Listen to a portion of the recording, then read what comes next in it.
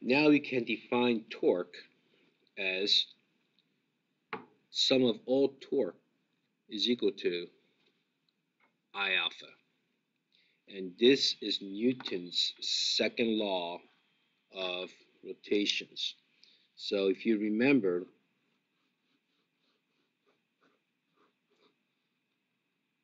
right, if you remember, Newton's second law of motion, we set all the stuff to, right, sum of all forces equal to ma, right?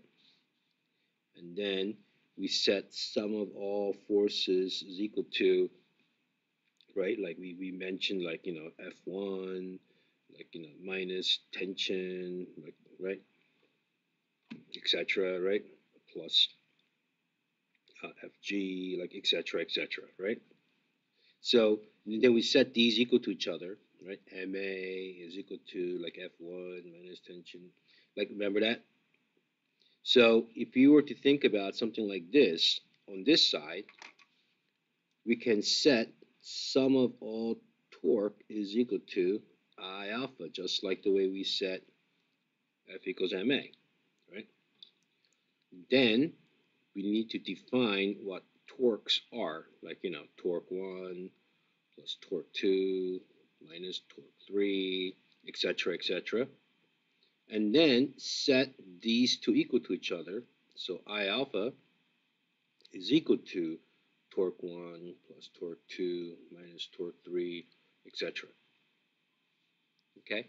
And it's very important. You always start with Newton's second law for dynamics, whether it's rotations or just translation, and define all the forces here for translation and define all the torques for rotations, and then set them equal to each other.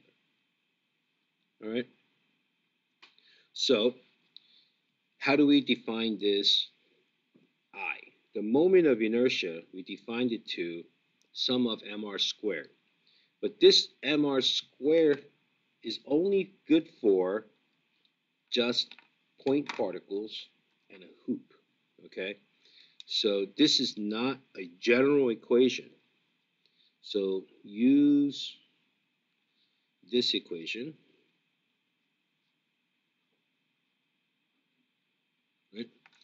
for all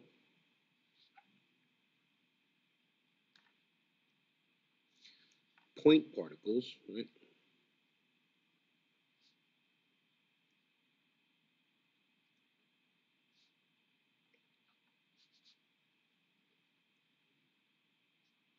Or thin hoop.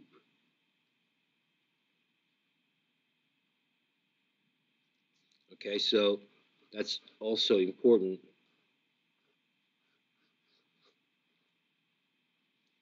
Okay, and and depending on the system, you will have different. Okay, you have different moment of inertia. Now this is on in last page right here, like page 23. Like cylindrical shell or hoop, your moment of inertia is mr squared. If it's a solid cylinder about the axis, then it is 1 half mr squared. Right?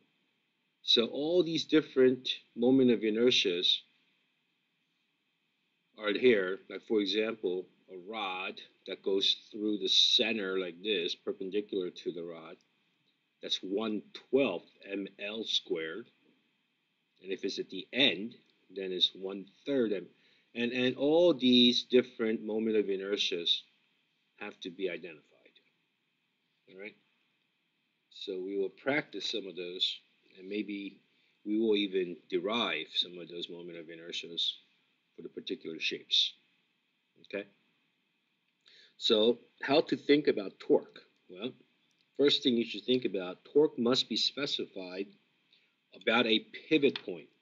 So you must find out where the pivot point is, and everything has to be measured from that pivot point, right?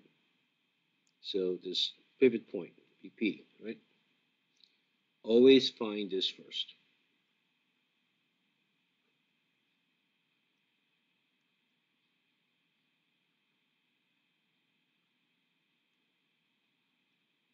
Okay?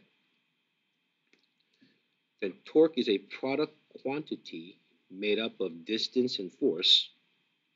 Okay? So R cross F. Torque causes angular acceleration, just like force causes translational acceleration.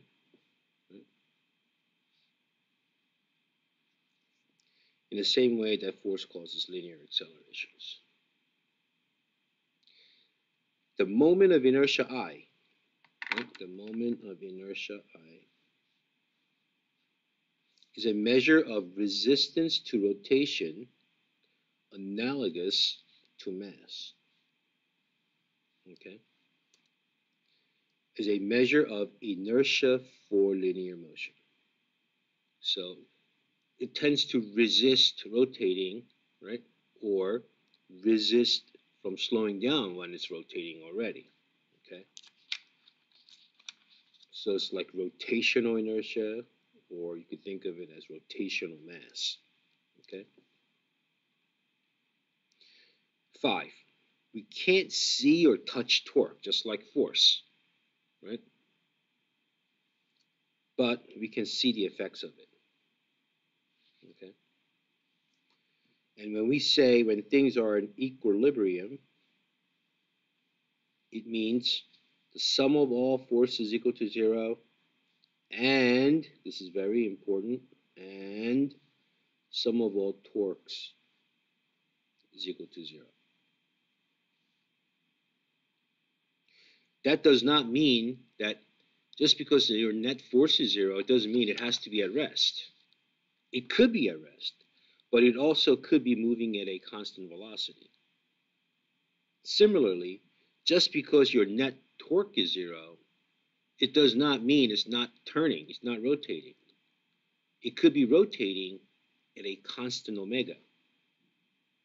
Okay, so this and this just means it does not have linear acceleration and it does not have rotational acceleration. Okay.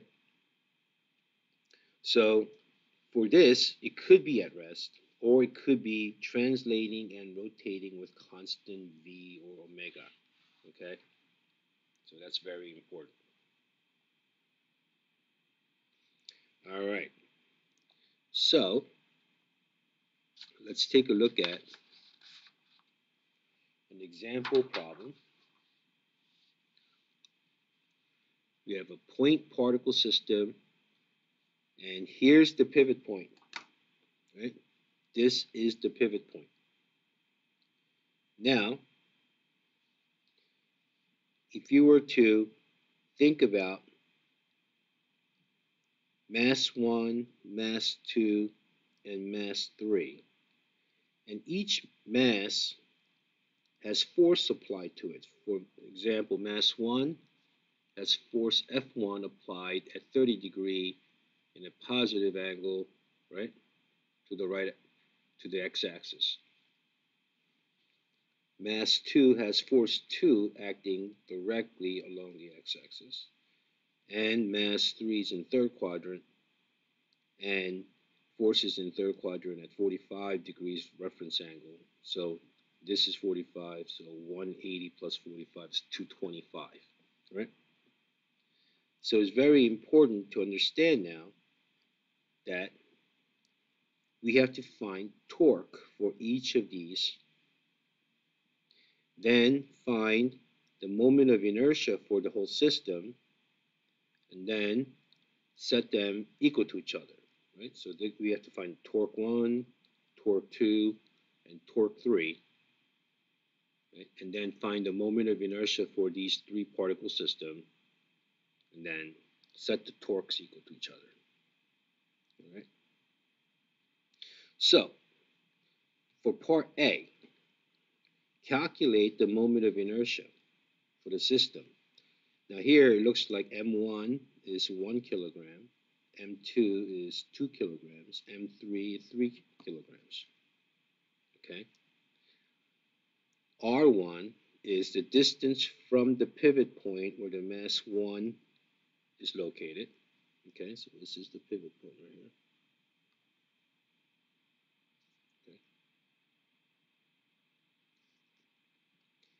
R2 is the distance where M2 is located relative to the pivot point. And R3 is distance M3 is located relative to the pivot point. All right. So let's think about calculating the moment of inertia. Okay. So I total is equal to sum of right mr squared basically right. Therefore, m1 r1 squared plus m2 r2 squared plus m3 r3 squared.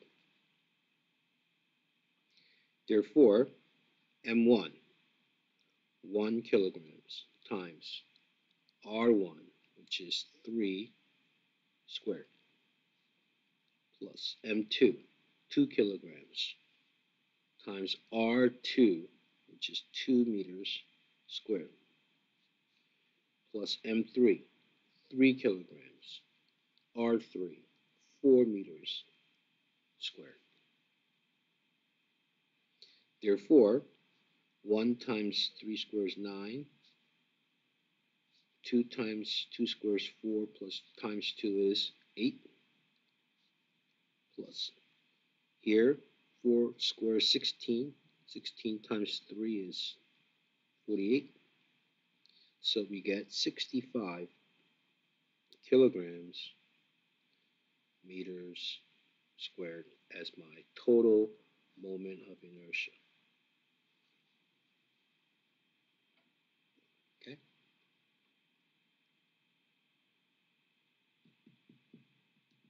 All right. Now, let's think about calculate individual torques and net torque acting on the system. So here,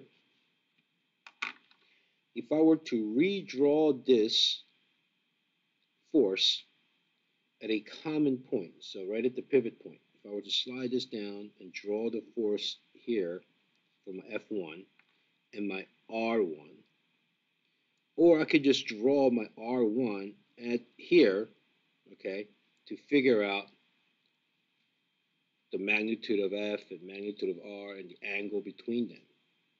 And since, since this angle here is 40 degrees, and if I were to draw my F1 here,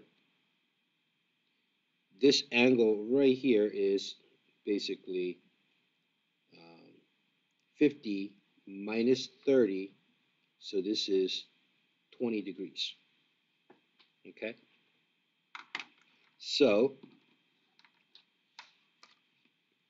let's just say if I draw everything at the pivot point, it's going to be messy. So I'm going to just slide this r vector up here, which will give us pretty much the same dimensions. So here is my R1.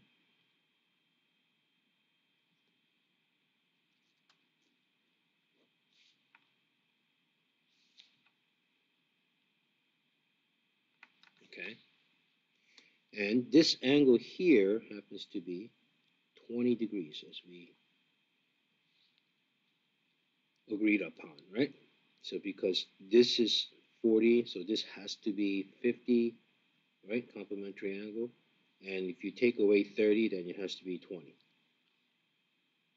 Okay? So if you want, I guess you could put 50 here, just so. Okay? So what is torque 1?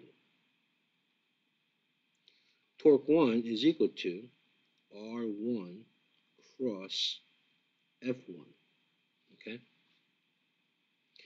So torque 1 is equal to R1 cross F1. That is basically the magnitude of R times the magnitude of F1 times sine of theta between R1 and F1, right? So R1 has magnitude of 3 meters. F1 has magnitude of 10 newtons.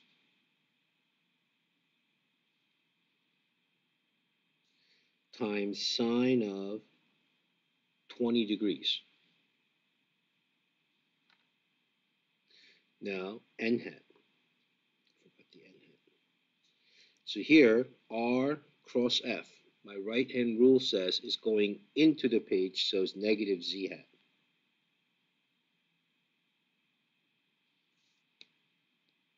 Okay? So if you work this out, you should get negative 10.26 meter newtons z hat as my torque 1.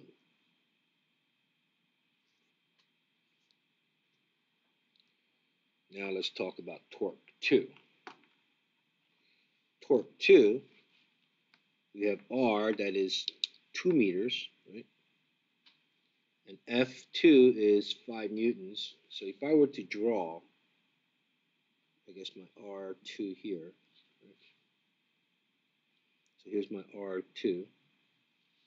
And the angle between them here is 90 degrees. Okay? Therefore, my torque 2 is equal to R2 cross F2. Right? So, torque 2 is equal to R2 cross F2, which is equal to, I mean, I could rewrite all this, R2, F2, sine of theta between R and F, n hat, which is equal to R2, which is 2 meters, F2 is 5 newtons times sine of 90 degrees and R cross F. R cross F, my thumb's pointing up, so it's positive Z hat. Okay, positive Z hat. Therefore, if you work that out, you get 2 times 5 times 1, you get positive 10 meter newtons z hat.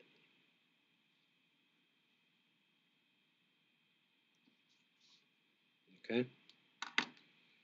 Now, let's take a look at torque 3. Okay. So torque 3 is equal to R3 cross F3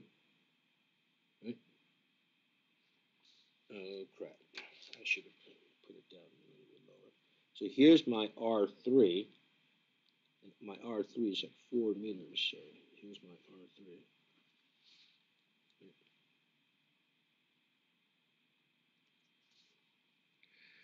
And the angle, so since this is um, 35 degrees here, this is 35 degrees. Right? So here's 35. So add 45 to it. So the angle between the R and F, right, happens to be 80 degrees. Okay? So torque 3 is equal to R3 cross F3, which is the magnitude of R3 times the magnitude of F3 times sine of theta between R and F n hat, which is equal to R3, 4 meters, F3, 3 newtons, times sine of 80 degrees. Now the direction, R cross F, right? R cross F, positive Z hat.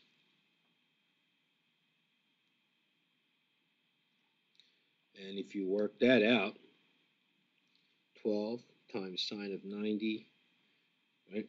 So it's like 11.82 meter newtons, and it's a positive Z hat.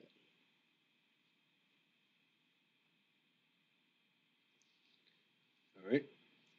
So what is my net torque? My net torque is equal to, right?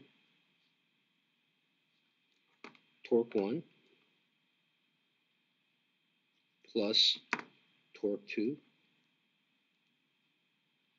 plus torque 3. That is negative 10.26 plus 10 plus 11.82. Right? Meter newtons Z hat. That is, if I add all these up, I'm going to get positive 11.56 z hat as my net torque.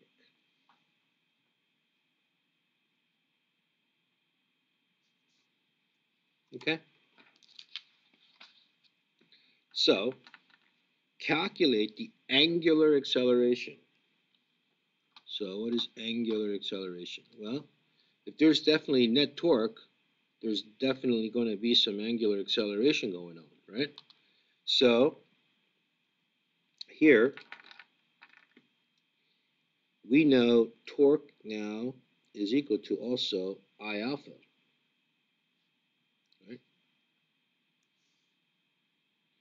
So, therefore, right, alpha is equal to torque divided by the moment of inertia. And that is equal to positive 11.56 z hat, divide that by I, which is 65 kilograms meters squared. So my alpha becomes positive 0.178 radians per second squared z hat is my alpha. Now you may ask, how would you go from torque meter newtons to radians per second squared, right? If you look at the units, if you look at the units, here I have meter newtons. Divide that by moment of inertia is kilograms meters squared that is equal to meters times kilograms times meters per second squared is what Newton is. Divide that by kilograms meters squared. So if you think about how meters times meters here cancels out with meters squared, and then how kilograms cancels out with kilograms. What you have left here is just second squared. Remember that radians is basically a unitless, right? Just fictitious unit. That's how we get radians per second squared. It could just pop up out of nowhere or it could just disappear without any mathematical cancellations. And that's how we get the unit of radians per second squared. All right. And then for part D, if the system starts at an angular velocity, omega naught is equal to 4 radians per second, and it is spinning clockwise right? spinning clockwise. So it's spinning clockwise is this way. Okay? So if it's spinning this way, our omega is negative z hat, right? I don't know if you can see that. Neg this is spinning clockwise, is negative z hat going right in. Okay? So my omega initial, right, omega initial, or omega naught is negative, right, 4 radians per second z hat, right?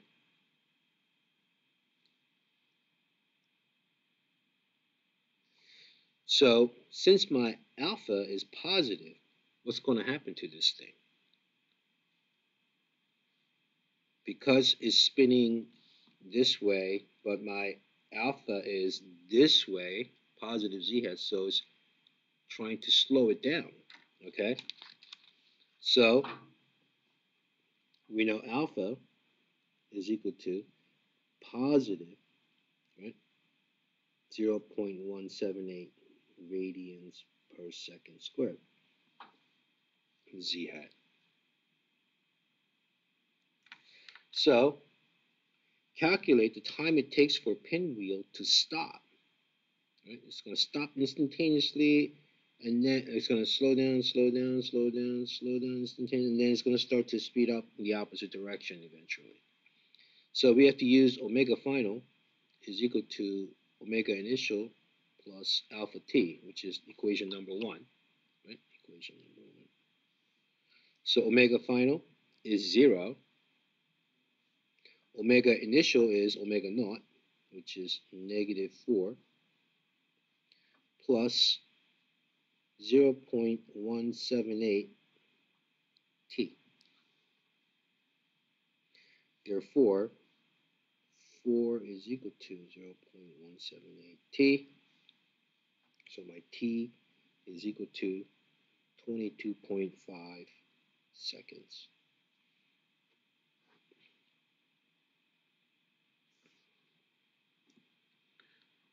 All right. Alrighty.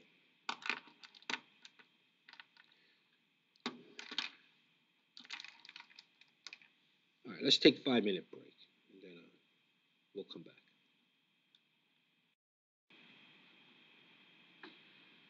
Let's take a look at what happens when things are rotating. Now, we know when things are moving, it has kinetic energy, right?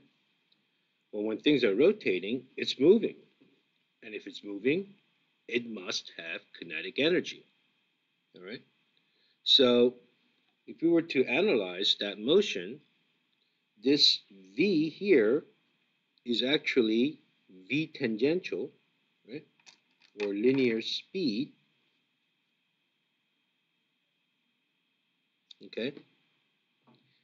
And with radius r here, we know it's going in a circular motion. So the kinetic energy of this mass itself is just 1 half mv squared. Okay?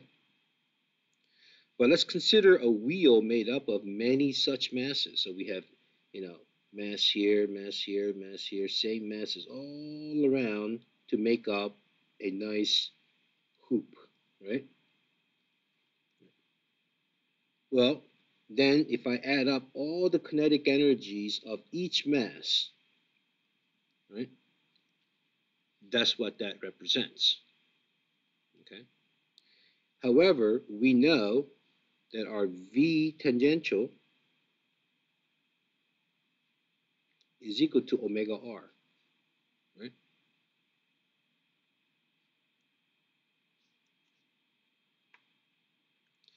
So if we substitute this omega r into my v here and then square it so I get my omega r quantity squared right what do I get I get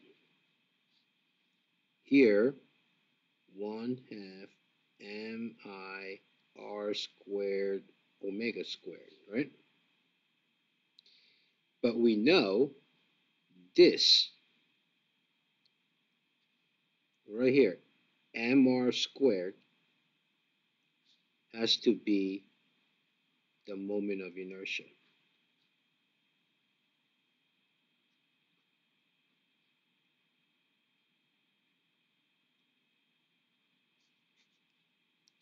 Therefore, our new kinetic energy, which is rotational kinetic energy, can be defined as 1 half I omega squared. And that is so important. Okay? So when we have an object rotating, we have kinetic energy and its rotational kinetic energy. And this rotational kinetic energy of an object rotating can be defined as 1 half I omega squared, which is very, very similar to 1 half mv squared, right? Now, if it's rolling, so instead of just rotating at a fixed axis, let's say if, it's let's say it's rolling, now you have translational motion as well as rotational motion. So you have two forms of kinetic energies. So you have translational plus rotational to have a total kinetic energy. So you must then find the translational motion, which is motion at the center of mass. So the translational kinetic energy can be defined as 1 half mv center of mass squared plus rotational kinetic energy, which is 1 half I omega squared. Okay? So if we have two things here, for example, let's say I have a block that slides down, okay? So sliding, right?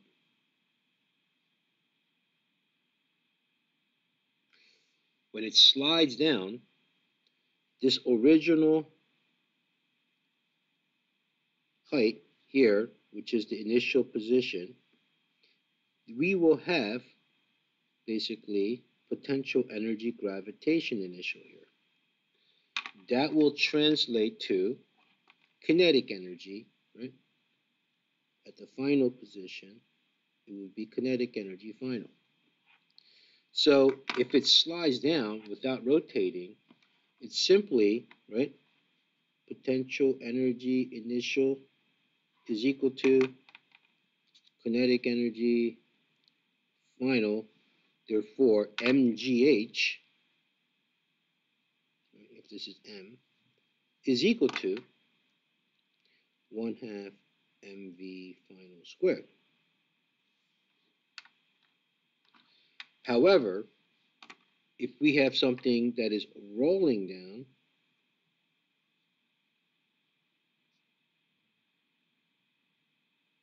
right? So this is mass M, and it's rolling down. Now we don't know if this is like a, a marble, like a spherical ball, or a hoop, or a cylinder. We don't know. We just know it's rolling down, right?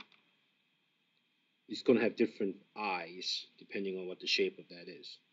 However, this right here, which is original height h, which is the initial position, we will have potential energy gravitation here initially. However, for the final position, right here, we will have kinetic energy total, which means it is going to be rotating as well as translating at the same time, right? So because it is translating down here as well as rotating, we will have two forms of kinetic energy in this case. So for now, we say potential energy initial gravitation must equal to kinetic energy total final. So potential energy initial gravitation is just mgh and that has to equal to 1 half m v sub c m squared plus 1 half i omega squared. Okay? Because kinetic energy total is equal to kinetic energy rotational plus kinetic energy translational. Okay?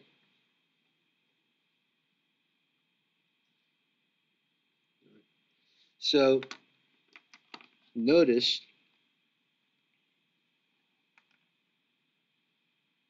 how different things turn out. Okay?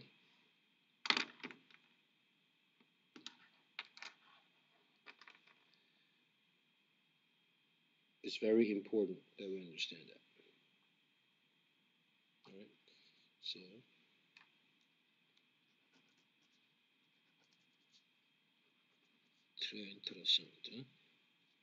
Oui. All right. So if we could put this all together now, right? We could say, okay, well, linear motion, we had displacement of delta x, right? If we were to say the position, if we were to say the position was like position was x, right? Then displacement is change in x. And then angular position, right?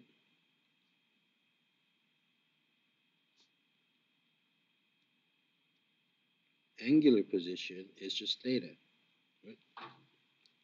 The angular displacement is change in theta. So velocity linearly is dx over dt. Angular velocity is omega, which is d theta dt. Acceleration is the first derivative of velocity, or second derivative of position. Angular acceleration is alpha, which is first derivative of omega, or second derivative of theta. Here are the constant acceleration equations for translational or linear motion. Here's the constant angular acceleration, right? which is really not that much different except it's all Greek, right?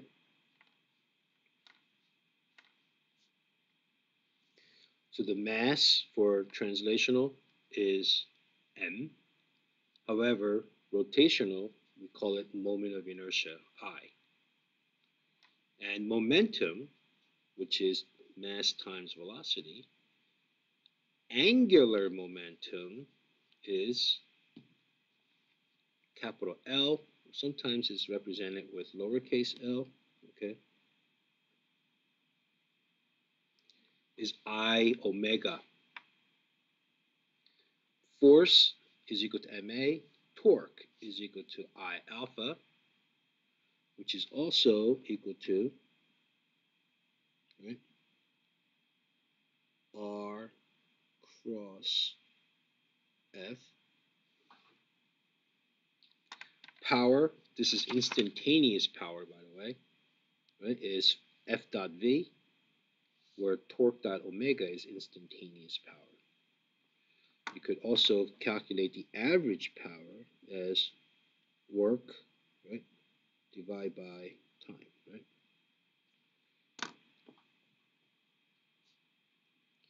So, what about work and kinetic energy? Right. we could add that in here if you want, right? So here, the Newton's second law for translation, sum of all forces equal to, right? The first derivative of the momentum, or is equal to ma.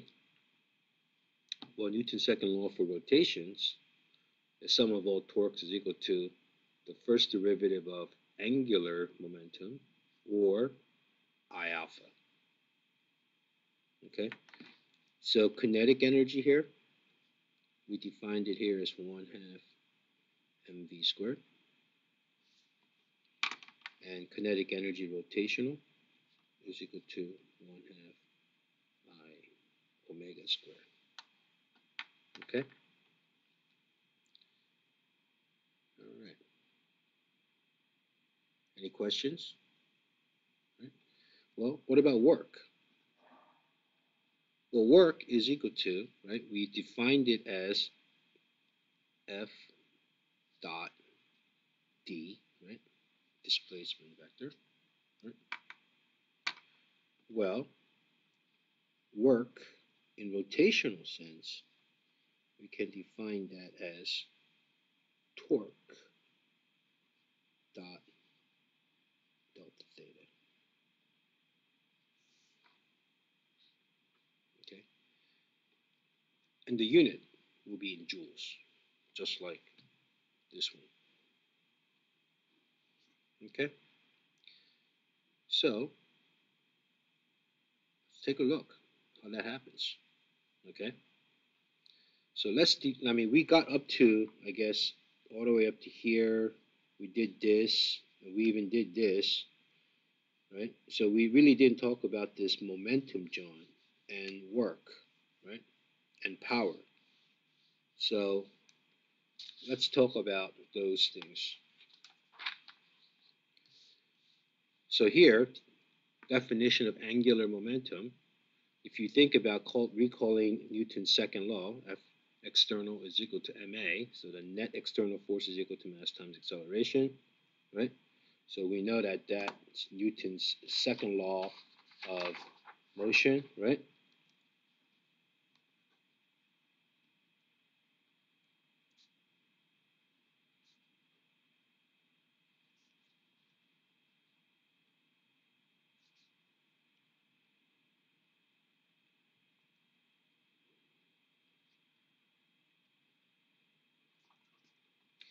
This is Newton's second law of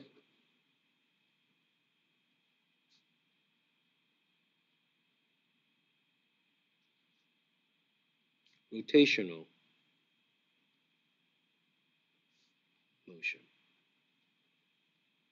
Right? So here, F equals ma. A is dv over dt. So if we multiply m times dv, we get change in momentum right here. Therefore, this is equal to right, change in momentum over change in time. So, we can define the net force is equal to now the first derivative of the momentum respect to time. Okay? Similarly, if I were to use I alpha as my net external torque, I alpha is delta omega over delta t. This represents delta L over delta t because this is angular momentum, right? This is also just linear momentum. Okay? So this is now Newton's second law in momentum form, okay?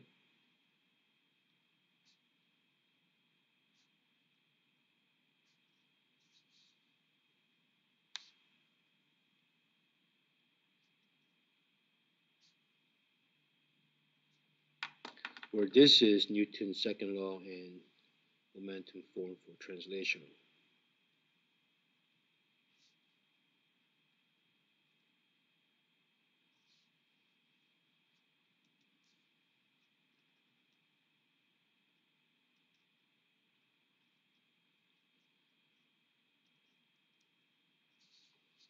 Okay?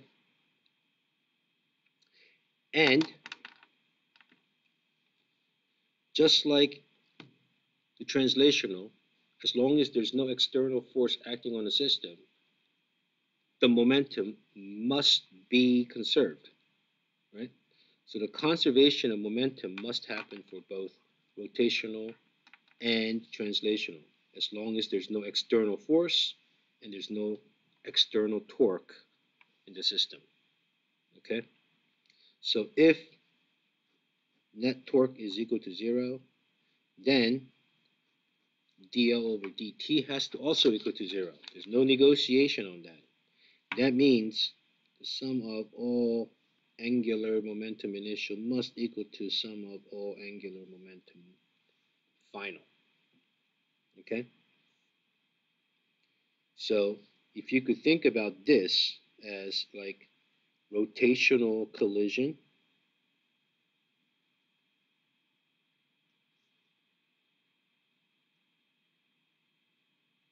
okay, explosions or implosions, right?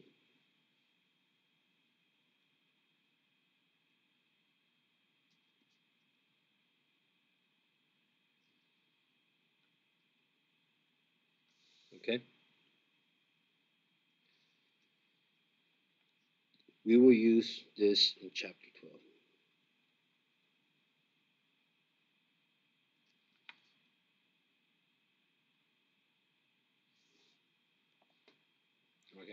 so conservation of angular momentum must exist. Okay.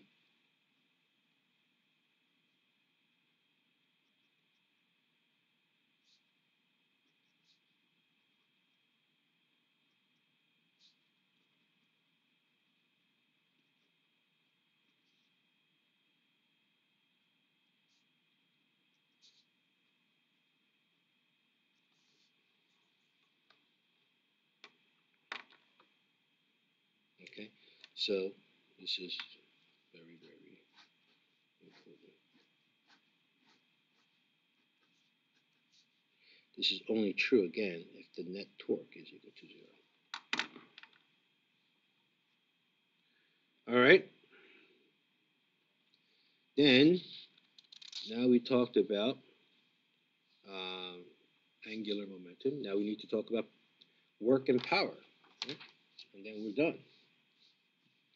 So, work and power for rotations.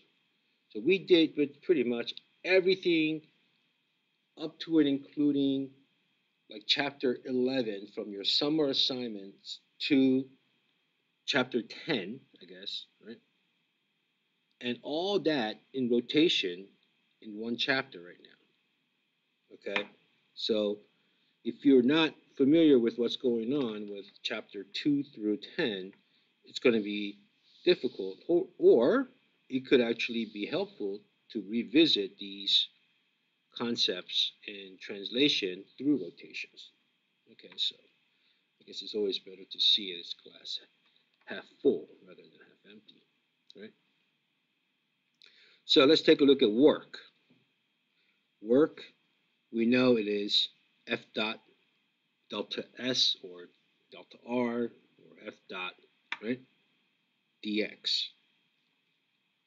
So work, by mathematical definition, is equal to F dot ds.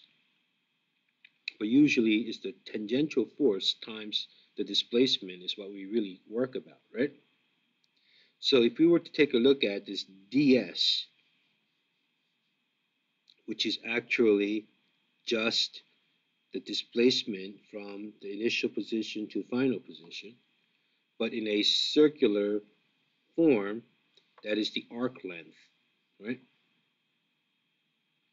So if we were to look at the force vector, which is force tangential, so here's the force vector. So this is the F tangential. And the displacement vector is instantaneous displacement vector is same direction like so, which is delta S, right?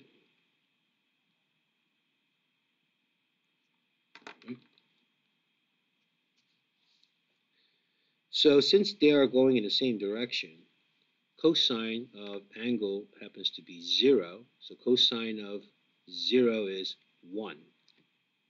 Okay. And since delta S, right, because we know theta is equal to S over R, therefore delta S is equal to, oh, I'm sorry, delta S over R is equal to delta theta, right? So we can say delta S is equal to delta theta times r. So if we substitute this into our equation here, we get work is equal to F tan delta theta r, okay? However, however, if we were to think about torque is equal to R cross F, this is not correct. Right? And since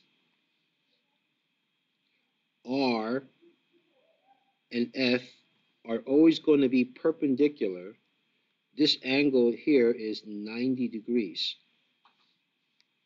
I would switch these, R and F. Okay. So because F tangential and R will always be 90 degrees, okay? So my torque is equal to R F tan times 1, right?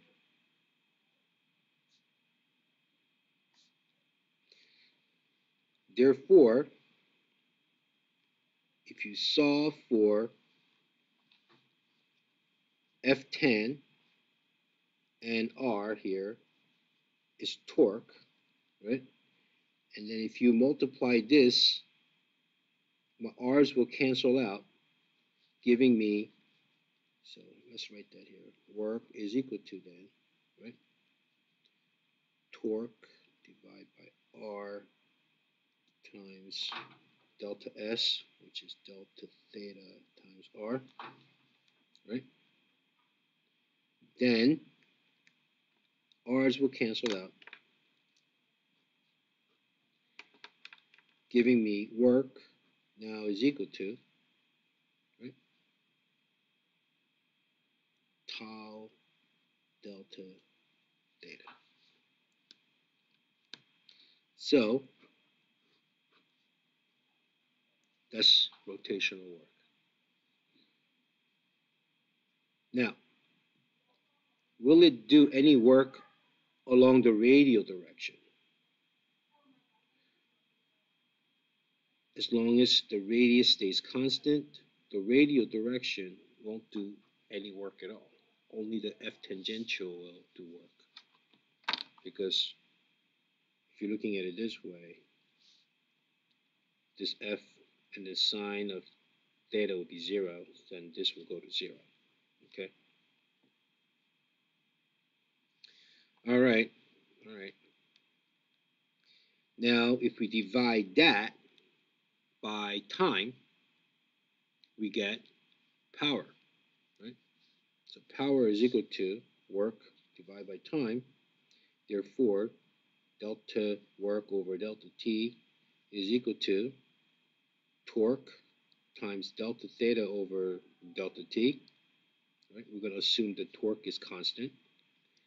And once that happens, delta theta over delta T is omega. Therefore, my power can be calculated as instantaneous power is torque dot omega. And that is instantaneous power.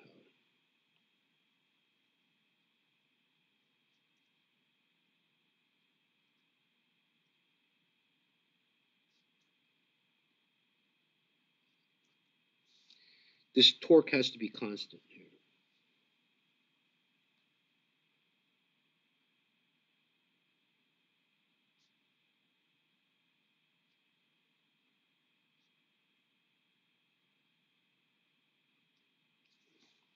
Okay.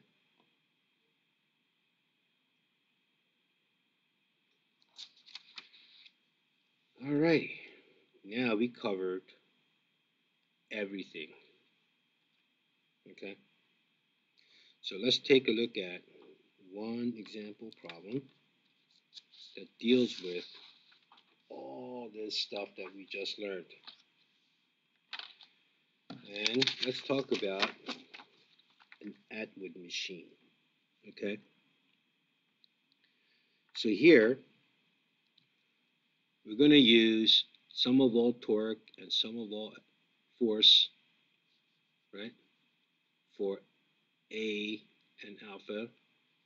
And then we're gonna use kinetic energy, potential energy, right, for all the V's and omega F's.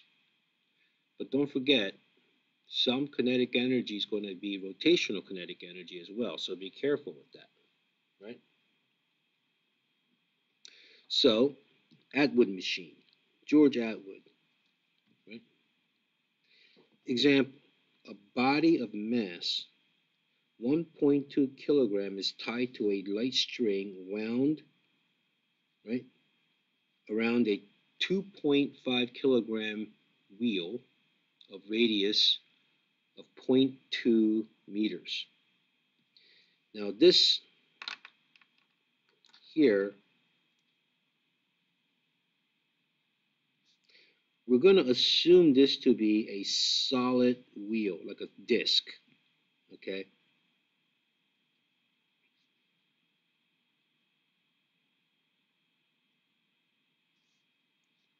Or simply disc. Okay.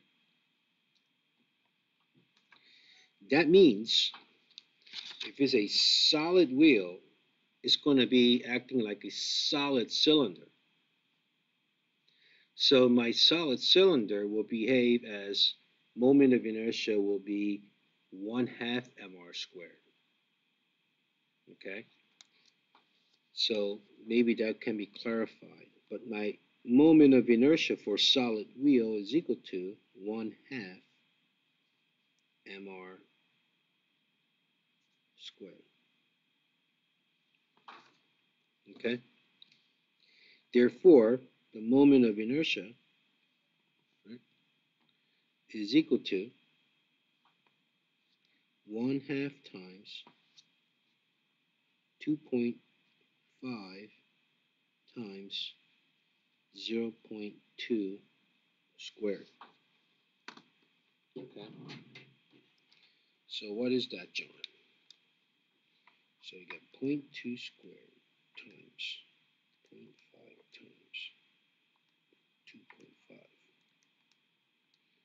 Get my moment of inertia is equal to 0.05 kilograms meter squared. Okay? That's the moment of inertia for this wheel. Okay? The wheel bearing is frictionless, so you don't have to worry about any kind of friction happening between the wheel and the, and the axle. Find the tension in the string. Tension in. Wow, that's bad. Find the tension in the string, right? the acceleration of the block and its speed after it has fallen a distance of 0.25 meters from rest. From rest. Okay. There's a lot going on here. Okay. So if we were to take a look at what's going on for this mass right here, which is 1.2 kilograms, okay, so this mass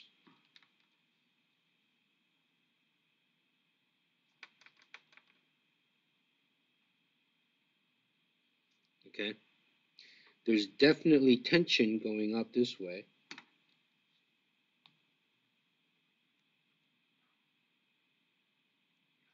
And there's definitely FG going down this way.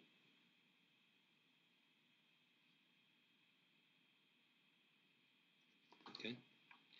And of course, Fg is equal to M times G, which is 1.2 times 9.8. All right? Which is equal to 11.76 newtons.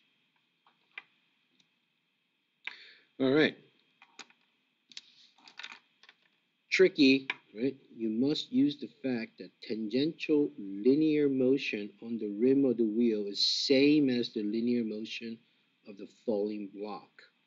Okay, so the V tangential of this rim has to be the same V as this block moving down here when it's reaching down to this location. Okay? So let's take a look at this pulley first, this wheel. Okay?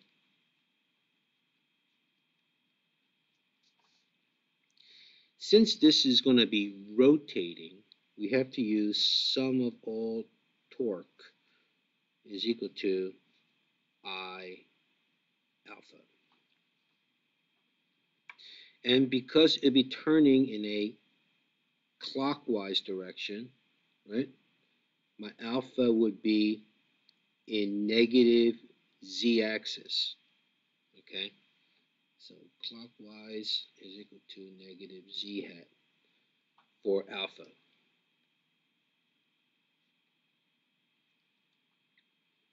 Okay. Now, if we were to look for sum of all torque is equal to, well, there's only one torque that's going to cause this object to this to rotate, and that is caused by the tension. The tension is also going to be pulling this string this way, right? With r radius, right? So my torque is going to be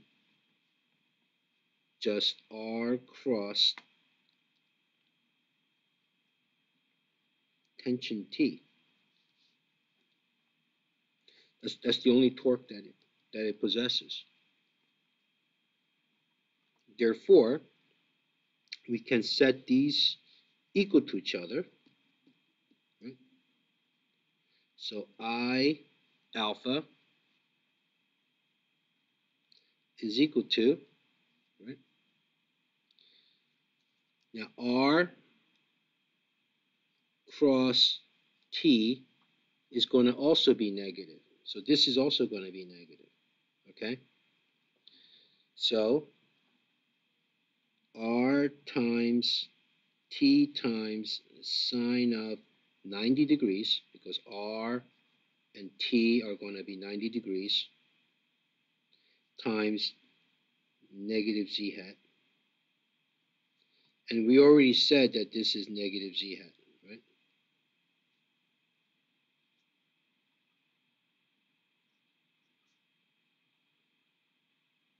should say negative z hat. So these negative z hats will cancel out. Okay.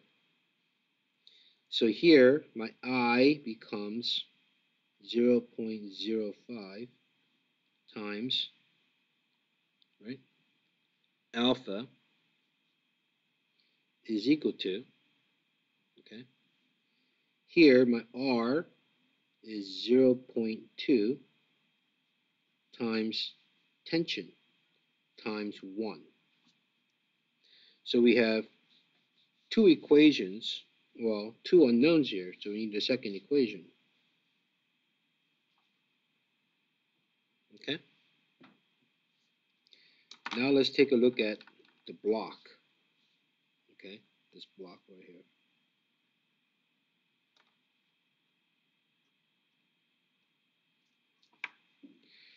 We say sum of all force is equal to ma.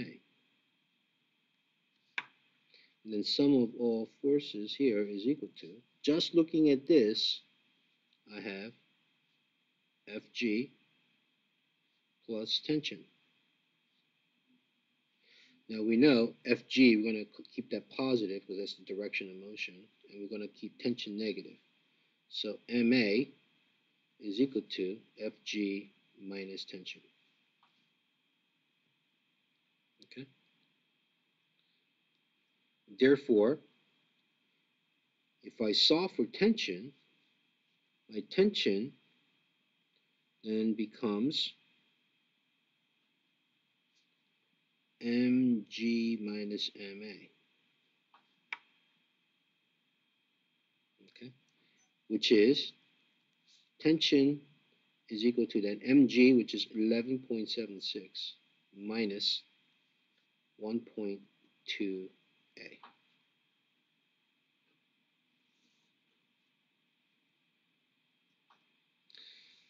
But we know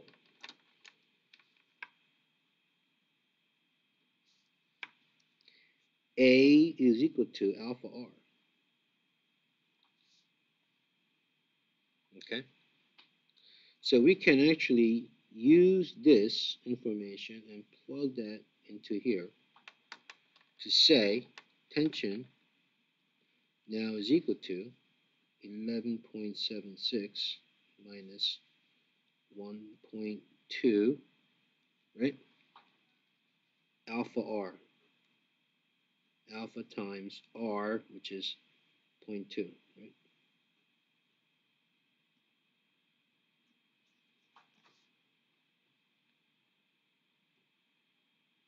Okay? So when I plug this into here, okay? So if I plug this tension into here,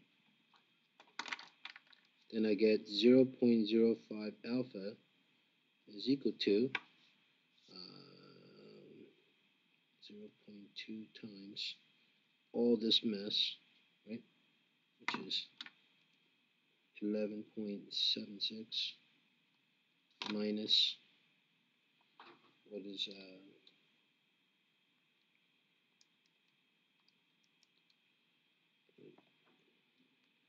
two four alpha, right?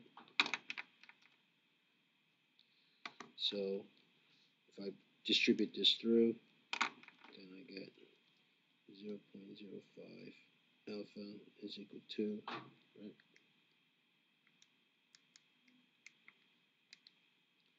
Two point three five two minus zero point zero four eight alpha. So if I bring this to the other side, zero point zero nine eight alpha is equal to two point three five two. So my alpha is equal to, right? Uh, I get twenty-four radians per second squared, right?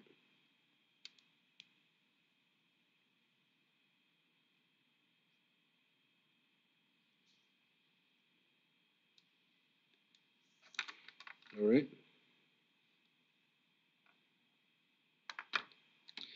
And then you can basically use that to get your acceleration. So my acceleration is equal to right,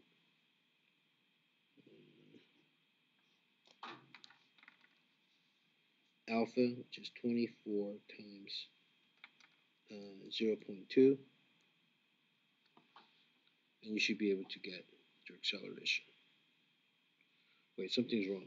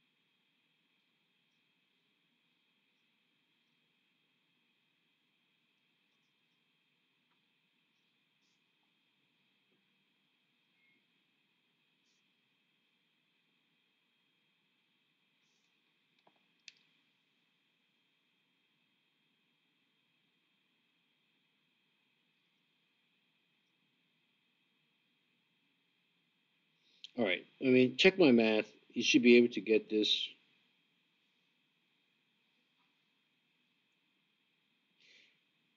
must be somewhere, I'll put a negative sign in the wrong place or something. Alright, so point two. I okay, acceleration, okay. The negative doesn't really matter, because I consider this to be positive, so it's okay, four point eight, I'm okay, okay. Meters per second squared.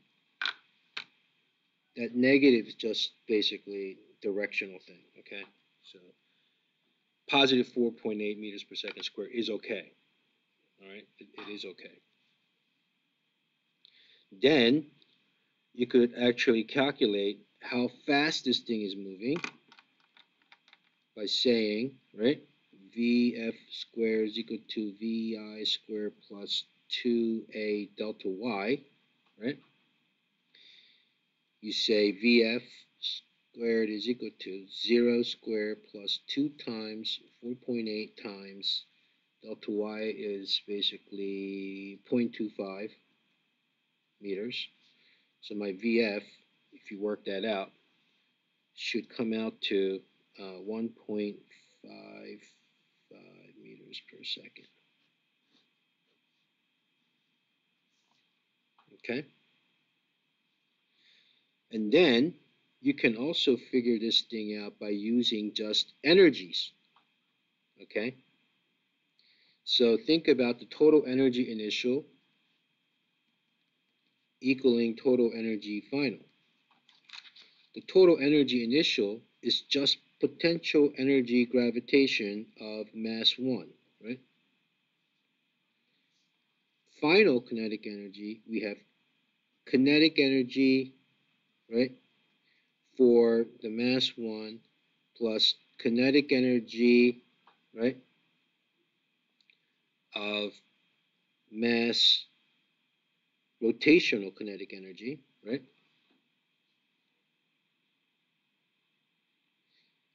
So we have to think about this rotating, right, at a fixed point. So it only has rotational kinetic energy caused by this potential energy moving down. So you can actually say mgh is equal to 1 half m this m right here, m1, right, times v squared plus 1 half i omega squared. So if you think about this v and this omega, right, so v is equal to omega r, so substitute that into my c omega here, so v over r, into here, and you should be able to calculate for V. So try that on your own, and you should get V is equal to 1.55 meters per second. All right, I will end the lecture there, and I will see you, um, I guess Wednesday. All right. Thank you, All right.